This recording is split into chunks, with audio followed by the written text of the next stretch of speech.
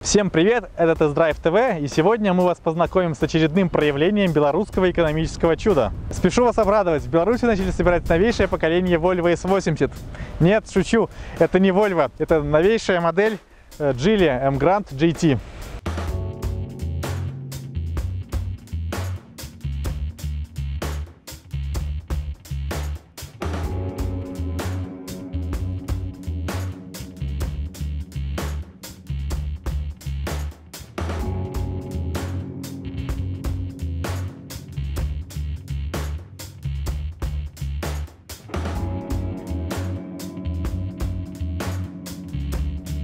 Причем здесь Volvo? Но вы же все хорошо знаете, что китайцы владеют этой шведской компанией. И нам кажется, что именно в этой модели воплотились мечты китайцев о настоящем европейском качестве.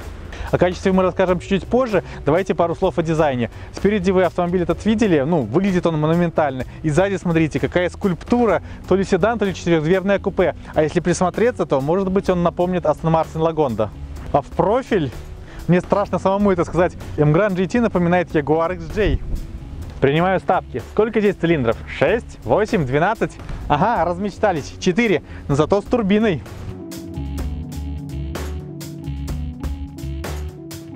Geely Grand GT – первый китайский автомобиль, который производит совершенно не китайское впечатление. И вот, например, дверь, она толстенная, тяжелая, но послушайте, с каким звуком она закрывается. Потрясающе. По качеству отделки этот китайский автомобиль уже догнал Теслу. То есть есть мелкие огрехи, но в целом качество европейское, я бы даже сказал глобальное. То есть за автомобиль совсем не стыдно. В интерьере совершенно нет китайской липоватости. Здесь все решения сбалансированные, такие гармоничные. Все сделано по делу и качественно. Вот, например, пластик на передней панели. Он выглядит мягким, но на самом деле такой жестковат. Чтобы его продавить, нужна сила пальцев каратиста. Что касается отделки и уровня исполнения, это, конечно, не BMW 7 серии, но я думаю, на уровень богатого корейского автомобиля тянет легко. Но что еще более важно, на моей памяти это первый китайский автомобиль, в котором совершенно без оговорок можно удобно расположиться за рулем. Ведь раньше как было? В любом китайском автомобиле я сидел высоко как на табуретке, а руль держал коленями. А теперь смотрите какое чудо. Можно кресло опустить низко и руль, он не просто регулируется в двух плоскостях, но оснащен электроприводом рулевой колонки. К сожалению, пока не могу рассказать вам, какой будет цена этого автомобиля, нам ее не сообщают, но оснащение очень радует. Э, скорость проецируется на лобовое стекло, то есть здесь есть полноценный проекционный дисплей. Также здесь есть система слежения за мертвыми зонами, система слежения за дорожной разметкой, автопарковщик и 4 камеры, которые обеспечивают совершенно уникальный вид и китайцы придумали кучу настроек, просто смотрите.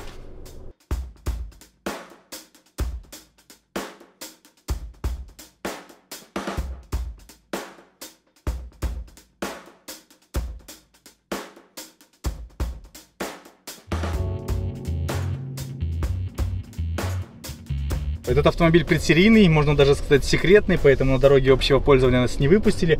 Придется кататься на площадке. Ну и даже в таких условиях э, скромных и стесненных автомобиль производит очень приятное впечатление. То есть моторчик работает тихо, а здесь именно моторчик 1,8 литра. Обещают, что здесь шестиступенчатый автомат. Ну, поверим. Подвеска работает так очень приятно, благородно стыки между бетонными плитами тоже ощущаются совсем едва. То есть автомобиль сделан вполне впечатляюще добротно. Даже не в том, что касается подвески, а даже в том, что касается настройки шасси. Ну, мне нравится. Отдельно хочется отметить э, шумоизоляцию. То есть мотора не слышно, работы подвески не слышно. И вот даже дождь, которая нас сегодня преследует, э, барабанит очень тихо.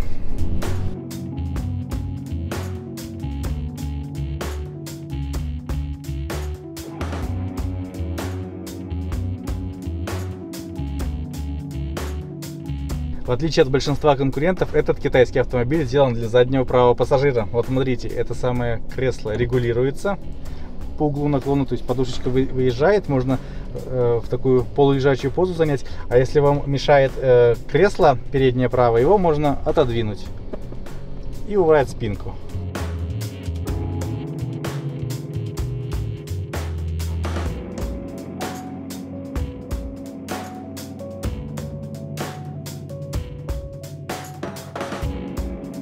Недавно президент Лукашенко пообещал пересадить всех белорусских чиновников на автомобили Джили. Что ж, если они пересядут на Grand GT, я думаю, бояться им нечего. Смотрите, как здесь шикарно на заднем ряду. Подлокотник, кресло удобное. Даже третья климатическая зона с ионизатором. Шикарно. Панорамная крыша, шторка. Чувствуешь себя как у Христа за пазухой. Думаю, что даже чиновник не будет обижен комфортом на заднем ряду GLM Grand GT. Ну, видите, здесь ну, действительно шикарно. Прямо как в люксовом седане, сделанном на заказ. Кроме того, ход плавный, места полным-полно, сиденье удобное. Здесь можно расслабиться и не думать о работе. Хотя я думаю, это совсем не то, от чего добивался президент. В Беларуси есть лимит, автомобиль чиновника не может стоить больше 25 тысяч евро, что я думаю, M-Grand GT будет отличным выходом из этой сложной ситуации. Расслабившись э, на заднем ряду служебного автомобиля, чиновник должен забывать о том, что отодвинув кресло вперед, он уменьшает ширину дверного проема. Выйти получается непросто, поэтому, чтобы не оконфузиться и не выйти на четвереньки, сиденье лучше предварительно отодвинуть назад. Если раньше фраза «пересадим всех на Джили» пугала чиновников до седины, то с появлением Grand GT можно сказать, что это не угроза, а даже повышение, премия какая-то. Но если серьезно, то Geely Grand GT производит очень приятное впечатление во всем, как по отделке, качеству и ездовым повадкам. Но информации о ценах и комплектациях у нас пока нет, а все, что знали, мы рассказали. Подписывайтесь, ставьте лайки.